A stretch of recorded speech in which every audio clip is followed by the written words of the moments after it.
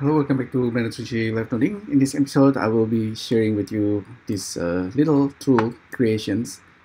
Um, basically, it's a uh, kind of like recreations of this app, Revolve, by uh, what's his name, Bartosz, for iPad. But this is actually an old app, and it's already uh, it's actually open source by the creator.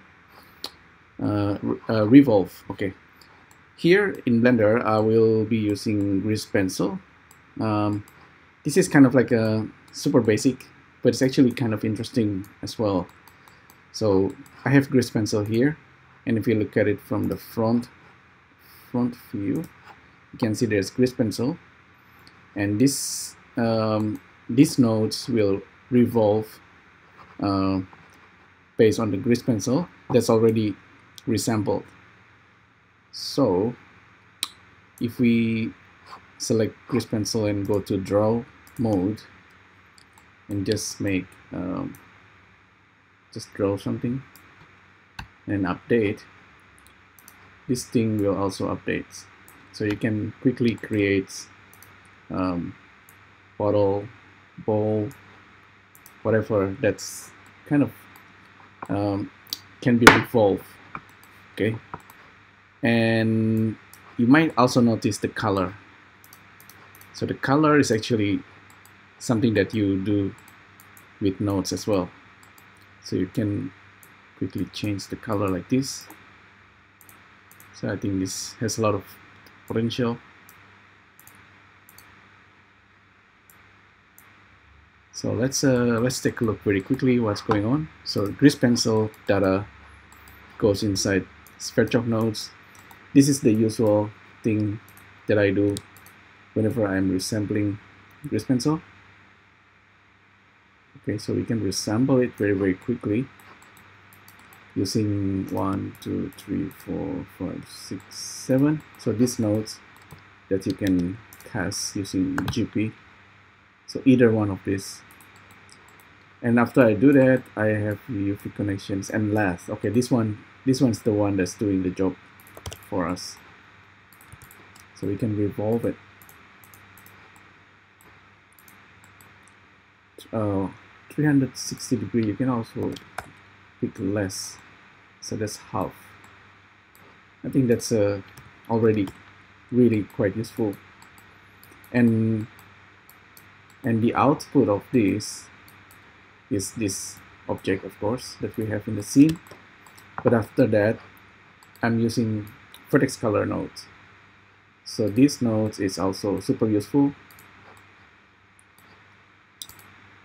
This one give a vertex color. So if you go to vertex paint, you can see there's this paint, and you can you can paint on it, right? But Sverchok will always override. So the mesh is changing, and the vertex color is also changing using this node and the node is getting its color by mapping the value, the z value of the vertex of the of the revolved grease pencil. Okay, so that's a really quite interesting. You do this really often if you are using cycles or Eevee nodes, except that um, here we are really just using the coordinates, vertex coordinate and we are remapping the color. There's a lots of interesting thing that you can do here. Probably I didn't show everything, but it's uh, something you can play around with. So I'm using color ramp. This is just two example. You can make another color ramp. Okay, this one you need to update it first so this is mapping the x and the y. Yeah so you have black and white. You play around with HSV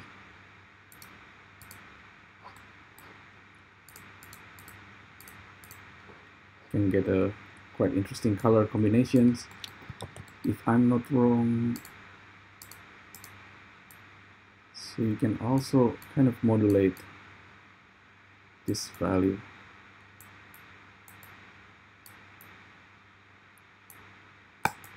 So I'm using list clamp, uh, list limits and clamp on.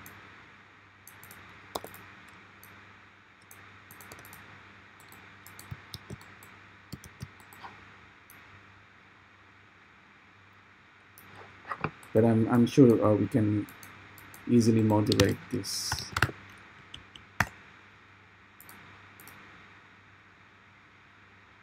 Modulo? Yeah see? Um, we have something that's kind of not um, adding nice detail. And this is uh, doing it with vertex color.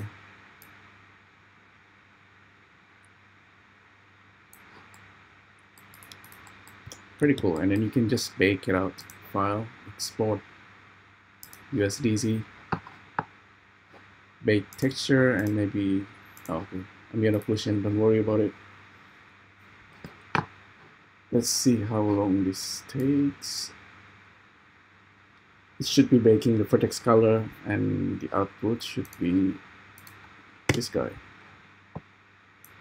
Right. It's a USDZ AR objects. You can just export it out and you have something. Yeah hopefully you'll find this useful. Let me know what you think and I'll see you next time. Thank you. Bye